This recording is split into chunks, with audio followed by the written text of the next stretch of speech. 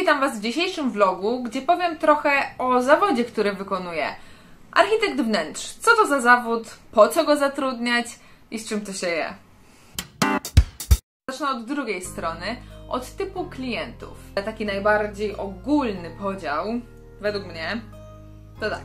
Klienci, którzy nie mają pomysłu na aranżację swojego domu czy mieszkania Czyli e, nie do końca wiedzą, jakie są dostępne materiały, co jest teraz modne, jak zestawić ze sobą te materiały, gdzie je znaleźć, co będzie dobre. Generalnie trzeba im pomóc znaleźć taką stylistykę, która im się będzie podobać, no i później e, przełożyć to już na rzeczywisty projekt i realizację. Drugi rodzaj klienta to taki, zupełnie po przeciwnej stronie, który wie, co mu się podoba, dokładnie wie, co gdzie ma, jak stać, nawet ma już wybrane te elementy i tylko czeka na potwierdzenie, na utwierdzenie e, tej koncepcji przez architekta wnętrz, że ona jest dobra. Trzeci typ mm, klienta to taki, który nie ma na to w ogóle czasu. E, nie ma czasu szukać materiałów, ekip, nie ma czasu czuwać nad remontem, e, nie chce mu się w ogóle tym zajmować, bo ma swoje zajęcia i wszystko powierza architektowi wnętrz. Wyróżniłabym jeszcze jeden typ klienta, który zna materiały i któremu się to podoba totalnie wszystko. Więc właściwie nie wiadomo na co się zdecydować.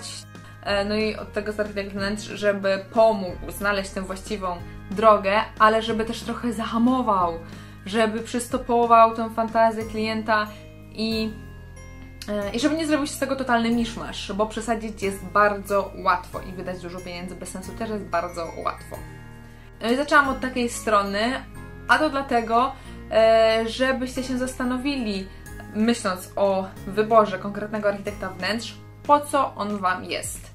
E, I tutaj dobrze mieć określone cele. Dalej przechodzimy już do projektu i do współpracy. I tutaj oczywiście mówię dalej na bazie swoich doświadczeń, e, jak przebiega sam proces projektu. No, trzeba go podzielić na kilka etapów. Pierwszy etap to układ funkcjonalno-przestrzenny czyli na bazie inwentaryzacji, rzutów, rozmów o tym, co jest potrzebne, co nie jest potrzebne, przygotowujemy e, rozmieszczenie tego, e, gdzie są meble, gdzie jest kuchnia, jak ta kuchnia wygląda, gdzie są przyłącza, e, jak najbardziej ergonomicznie wykorzystać daną przestrzeń. I czasem wydawałoby się, że ten etap jest zbędny, ponieważ kiedy kupujecie mieszkanie czy dom, E, dostajecie przecież narysowane, że tutaj jest kuchnia, tu ma być e, lodówka i tak dalej. Ale nie czarujmy się, że zwłaszcza w przypadku bloków te plany są bardzo zgeneralizowane.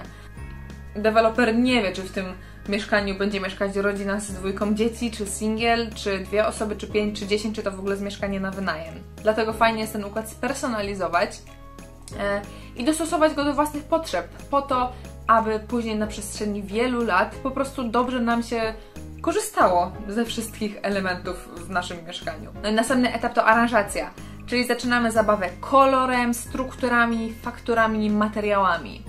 Na początek przygotowuję plansze idowe, tak zwane moodboardy, gdzie ma być zawarty charakter danego pomieszczenia, e, czyli ogólna kolorystyka, proponowane meble, elementy wyposażenia wnętrz. Im więcej można zobaczyć na żywo, tym lepiej, chyba że projekt jest prowadzony zdalnie, co też się zdarza. Natomiast jeżeli widzimy materiał na żywo, możemy je ze sobą zestawić. Zawsze pomaga to w podjęciu decyzji e, i pokazuje te rzeczywiste struktury, kolory, jak jeden materiał będzie na drugi działać. Kiedy ogólny zamysł i charakter jest zaakceptowany przez inwestora, to czas na przeniesienie tego na wizualizację 3D. Czyli tutaj już pokazujemy w konkretnych przestrzeniach, gdzie co ma stać, gdzie co ma być położone, jak to ma wyglądać. I to oczywiście fajnie obrazuje nam docelową przestrzeń, to do czego mamy dążyć yy, i ma utwierdzić inwestora, a także nas w tym, że dokonaliśmy dobrego wyboru, że koncepcja nam się podoba, że wiemy właściwie o co będzie chodzić w tej przestrzeni, przecież patrząc na próbkę, nie zawsze e, klient może sobie wyobrazić, gdzie ten materiał będzie dokładnie użyty i jak on będzie wyglądać na większej powierzchni. No i następny etap to dokumentacja techniczna oraz kosztorys. Czasami także się wydaje, że nie jest jakiś bardzo potrzebny, ale słuchajcie, on jest bardzo ważny. Dlaczego? Dlatego, że sama dokumentacja e, techniczna pomaga uniknąć wielu błędów, wielu nieporozumień. Jest to mega wsparcie dla ekipy wykończeniowej czy podwykonawców, którzy dostają rysunek, wiedzą e, jak położyć płytki, e, wiedzą jak zrobić podwieszenia, gdzie się łączy podłoga z, drewniana z płytkami, jak przenieść ścianki, jeżeli są takie zmiany i tak dalej. Także wszystko powinno być narysowane, opisane oraz oczywiście omówione z wykonawcą.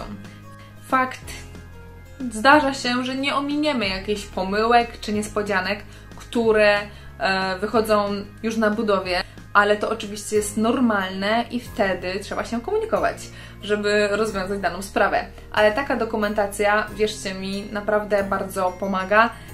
Często podczas robienia zakupów już konkretnych elementów, architekci wnętrz mogą pomóc także tym, że mają swoje zniżki. E, już bardzo wiele, o ile nie wszystkie salony z wyposażeniem wnętrz e, współpracują z architektami wnętrz i mają dla nich specjalne zniżki, o które oczywiście warto pytać. Na sam koniec dochodzi jeszcze nadzór i to jest opcja, która czasem jest potrzebna klientom, a czasem nie jest. I o co chodzi w tym nadzorze? Poza tym, że oczywiście architekt wnętrz jest w stałym kontakcie z ekipą wykończeniową, czyli właśnie rozwiązuje na przykład nieprzewidziane sytuacje, e, zajmuje się zamówieniem materiałów, montażem, pomiarem, e, dogaduje szczegóły z podwykonawcami, ze stolarzami, ewentualnie z jakimiś e, innymi firmami to także czuwa nad całością, żeby przebiegała zgodnie z planem. Opowiedziałam mniej więcej, jak wygląda zawód architekta wnętrz oraz e, jak wyglądają poszczególne etapy projektu wnętrz. Oczywiście to są podziały i etapy, które ja stosuję, ale każdy architekt wnętrz może mieć swoją metodę e, sprawdzoną, więc tutaj już w zależności od tego, na kogo się decydujecie, warto poznać te etapy i zobaczyć, czy rzeczywiście otrzymacie to, czego będziecie potrzebować.